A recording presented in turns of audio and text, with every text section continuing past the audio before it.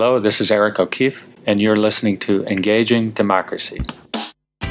As we lead up to the Oscars this week, Eric welcomes Andrew Breitbart to the podcast. The two sat down a few weeks ago in Southern California to discuss the political history and culture of Hollywood.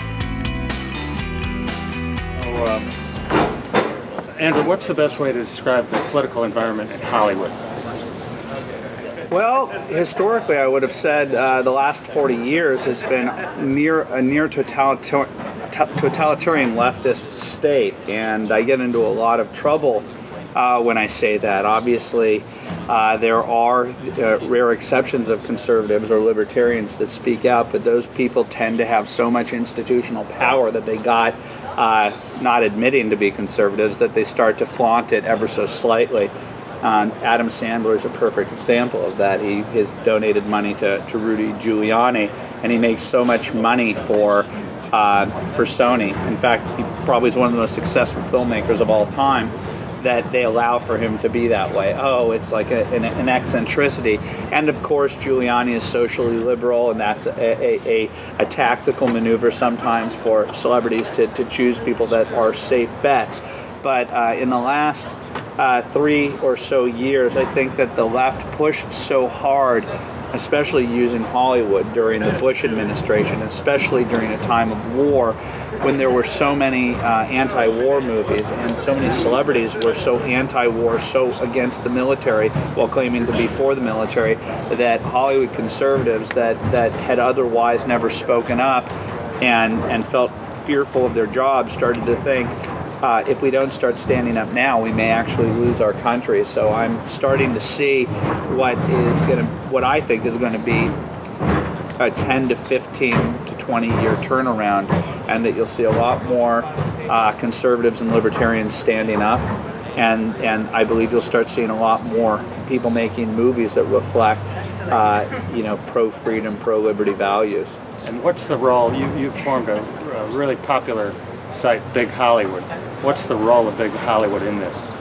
Well, once I found out that there was uh, an underground conservative movement, it, it made uh, great sense to use my new media platform and my my skill set, which is I'm I, I, am, I am a journalist, but I go on the offense against that which I think that is fundamentally unfair, and I I, I think that one can't be neutral to uh, the status quo in Hollywood right now, and that it has to be broken down. It is an injustice, just as you know somebody could say that a lot of journalists became journalists during the civil rights movement because they felt that they wanted to affect change and so that's not objective journalism so i feel that i you know i'm, I'm not going to equate hollywood conservatism with the civil rights movement but there are civil rights issues, and free speech is not. If in if in Hollywood, in the United States of America, where the First Amendment is about free speech and the free, uh, you know, granting people the right to openly, you know, uh, express how they feel about anything under the sun, the very idea that the left treats that in such a way to shut people down, I think that is a civil rights issue. Good. Now, uh, we named our organization the Sam Adams Alliance out of admiration for Samuel Adams. And not only has there, there's never been a movie made about him, but there's very few movies about the founding period, which is rich in great stories. Do you see from your friends in Hollywood evidence that some people are interested in, in making movies about the American heritage? Oh, absolutely. And it certainly wasn't the right uh, it was Tom Hanks uh, that did the John Adams uh, miniseries on HBO, and its critical success and its commercial success shows that there is an appetite for for that type of information. The problem is is that most people in Hollywood uh, subscribe to a different form of history. Uh, the late Howard Zinn, who passed away last week, uh, just had a, a History Channel special called People Speak in which celebrities like Josh Brolin and uh, Matt Damon and other well-known people like Kerry Washington and John Legend got together to celebrate this radical historian who has told teachers that they should be radicals, that they should go into institutions and push the limit on the curriculum in order to push a radical agenda for social change and ec- economic justice. This is not about the core uh, founding, you know, principles of this country. It is it is in direct uh, attack of those founding fathers and those founding principles. And so, uh, for every John Adams, uh, you know, uh, type project, there are five history revisionism pro- projects. Some that are done in, in even more subtle ways, where they're ever so slightly changing the, the truthful historical narrative in order to impugn the United States and the motives of the founding fathers. But you see the market rewarding uh, truthful history and, and creating some incentives to straighten that out.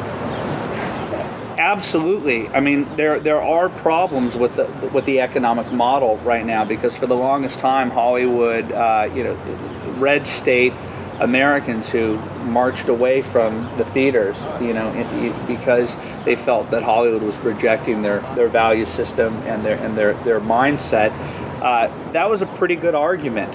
But now, since about 2003, more money is made internationally than is, than, than is made at the domestic box office. And so uh, the movies are now not are, are to a great extent funded internationally sometimes by rich Saudi sultans and, and families.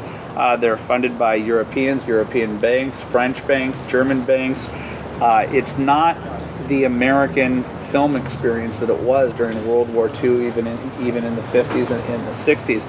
It is an international movement that has a symbolic capital in Hollywood, but almost every aspect of the experience has been internationalized, including where the, the films are often uh, premiered, such as San Sebastian in, in Spain, where there's a film festival, Cannes Film Festival, uh, the Toronto Film Festival. That's done on purpose because the art, artsy movies, the movies that are done uh, that are that are meant to be Hollywood statements, uh, tend to be ones that would not go over well at a at a Peoria uh, Cineplex. Okay, I see. Well, uh, Andrew, thanks for the interview and for the uh, being a warrior for freedom with Big Government, Breitbart.com, Big Hollywood, Big Journalism, and more to come. Thank you very much, Eric. Engaging Democracy with Eric O'Keefe is available on iTunes or at samadamsalliance.org.